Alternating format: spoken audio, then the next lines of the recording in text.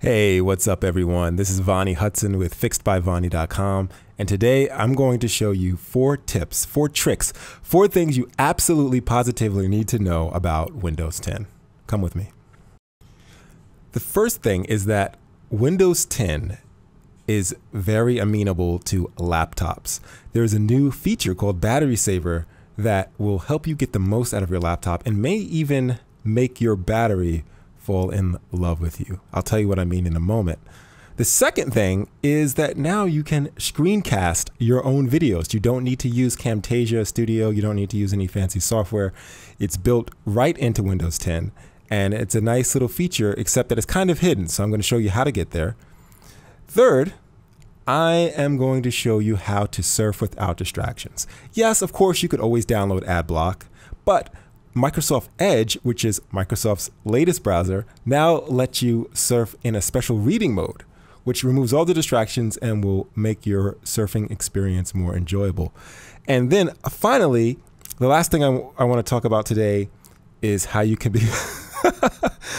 I'm laughing because this last uh, feature is kind of cheesy when I'm calling it, but basically how, how you can become a disk storage assassin. There's a new feature built into Windows 10 that will give you a great visual of how much space you have left on your drive and what apps are consuming the most space. All right, so let me show you what I'm talking about. Let's do this. All right, so here we are logged into my Windows 10 box. And this picture, by the way, I took on my BlackBerry when my wife and I were um, at our honeymoon on Marea. As you can see, it looks kind of good, surprisingly. BlackBerry. And this is something like five years old. So it's not about the camera, it's about the photographer. All right, so anyway, let me show you the first setting. It's the uh, battery usage. So if you click on Start, and then you go to Settings, go up to System, you can go to Battery Saver. Another option is just to type in battery saver and you'll get it that way too. Now, right now you can see my battery's at 98%. It'll try to calculate how much time I have remaining. That's really not new. You can, of course, also find that here on the bottom right corner of the screen where you get your battery settings. For example, I can click this and I can see that I have 56 minutes remaining and I can see that battery saver is now open. If I go down to the battery saver options, this is the cool part, right? So this is the new stuff. If I click on battery saver settings, I can set a threshold that will engage when the battery level falls below it. So if I click battery saver settings, right now it's set to 20%. So if I set this to 10% or 5%, that would be the mark that would engage the battery saver. You can also have it, you know, push notifications from any app while in battery saver. Um, that just means that you're you don't want your apps to stop receiving notifications just because the battery saver is on. So you can use this to sort of override portions of the battery saver settings. Of course, you want to leave this last setting on. This will save your battery. The brightness is one of the largest. Uh, it's one of the most resource intensive uh, settings that you could leave enabled. And then here you can create an exception. You can just add an app and you can say, all right, well, my alarms clock app, I want to make sure that that always gets through no matter what. Um, so this will sort of be this will be exempt for, from the um, the battery saver stuff. This is always going to run in the background. In other words, all right. So that's the battery saver settings there. I do want to show you this. If you click on battery use back on the first page or the first screen, you can set it from 24 hours to 48 hours to one week. So this is great. So let's say you've got the battery saver running for a while. You've got it running for a week. You can look at historical data for it here. You can also see um, you know, how many, uh, how much, what percent is in the background and what percent is actually in use. And then you can change these settings. If I click change background app settings, I can say, all right, you know, I want these apps to always run in the background. Some of these apps, you know, I, I don't want to always run in the background. Basically, you can turn it, you can turn these apps on and off as you as you feel as you please. Um, so this is a new setting. This is completely new. Windows 7 did not have anything like this. Uh, this is a completely new screen and new settings, so definitely check this out. The second thing I want to show you is how you can screencast your own videos. Now, screencasting your own videos is really cool.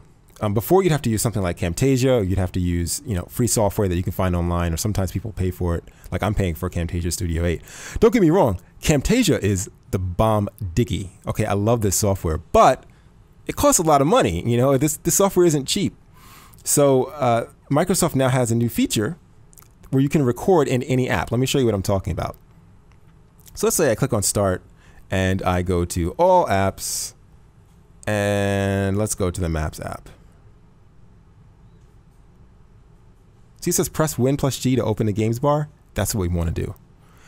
Win plus G is your secret key for saving, recording the screen of whatever you're doing or taking a screenshot of it. The key is that it doesn't save it to your pictures folder or to your library. It saves it in the Xbox app. So let's say, you know, I'm sitting here and I'm looking at this, you know, this beautiful graphic of looks like downtown New York City. And I want to actually record a video of this because I want to send it to some people. Um, you know, I, I, you know, that's my thing. You know, I want, I want to send a video of Wall Street to somebody. So I just press Windows key G. And this will bring up the games bar. Now look at this. This is the games bar. Xbox app, I can get to it this way. I can record that. That's just what they're calling it. Record that. Uh, this records it to the uh, the Xbox. Actually, I don't know what this does, by the way. Um, it looks like this records it to. It looks like a little controller for the Xbox. So I'm not going to talk about that because I don't know what that does. But on um, the games bar just went away. Let's bring it back. Windows key G. Um, this will allow you to take a screenshot and this is the start recording button. So you press Windows key Alt plus R to start recording your screen.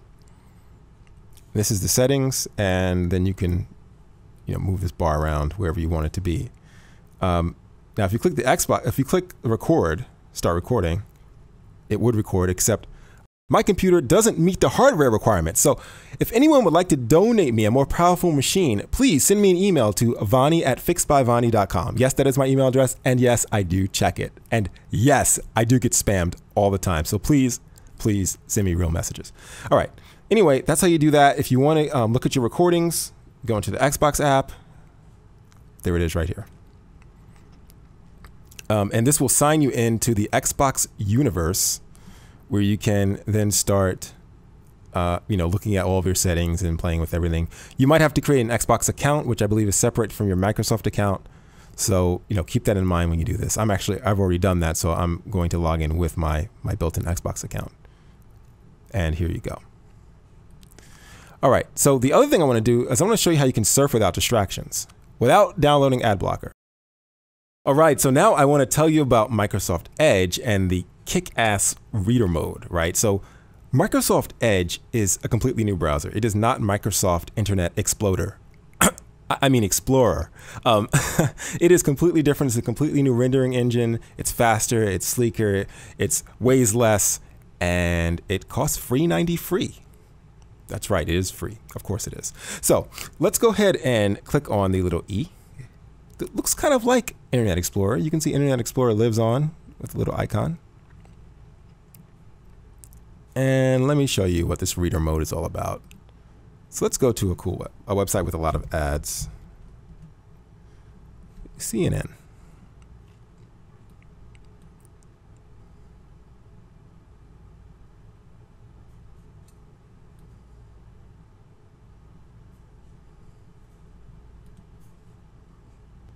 Okay, I didn't want a video. I want an article. So let's just bring up an article. Do articles even exist anymore? Here we go. So we've got this article, which is old for some reason, but it's still posted to this website. Right, so now we're going to look at this page. You can see all the ads, they're everywhere. Click reader mode, or you can press Control Shift R. The reader mode is right up here in the um, progress bar or the uh, location bar. And look what happens. Wow. Can someone say, wow? Isn't that nice? Isn't that lovely?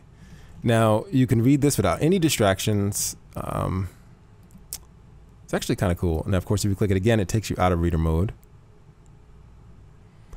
And you can do this on many, many sites. For example, let's say if I went to theblaze.com.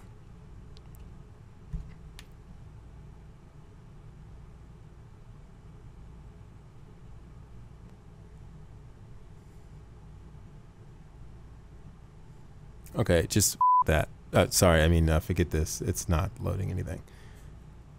Uh, this site sucks. Wow, I can't even close it. Cool. Yeah. All right, so now let's talk about disk storage and what this is about. This is the fourth feature I want to show you today. Fourth and final feature, that is. All right, so if, to go to disk storage, click on Start, click on Settings, and then you can go down to storage, which should be under um, System maybe? Yes, and then Storage. Now here you can see I'm using 18 gigs out of 60 gigs. So I have a 60 gig hard drive. If I click this, it actually breaks it down by apps, by documents, by pictures. And this looks something like the breakdown an app probably on your Windows phone or your iPhone or your Android. It's coming to Windows 10. And it's kind of cool, right? So you can see how your space is divided. Um, you can click the little refresh button to you know get the most up-to-date information. And if I click one of these little graphs, it shows me more information about it. I can see exactly what's going on here. Uh, let's go back. Apps and games. You know, it'll try to calculate which apps are using the most. And VMware Tools is using 125 megabytes for this box. And here's the other apps. Um, I can type in an app name and search for it that way. I can sort by size, sort by install date. So I can see, okay, all these apps are the most recent apps and these apps are using such and such amount of space. Uh, what else can I do? Yeah, so this is this is pretty cool. Click an app, I can click on install. That's cool. You know, we never had this before in Windows. So my name is Vonnie Hudson, and I am with FixedByVonnie.com. That is my blog. That's where I live. That's where I dream. That's where my hopes and aspirations reside. I'm just kidding. Um, anyway, check it out. Just thumb this up, thumb it down, clap, shout, scream, curse, yell. I don't care. Just interact with me. Let me know in the comments. I like to get in there and, and bounce ideas off people, bounce insults off people, whatever. Okay, and uh, also go to uh, click the subscribe button on this on this so that you can get more stuff like this in your YouTube.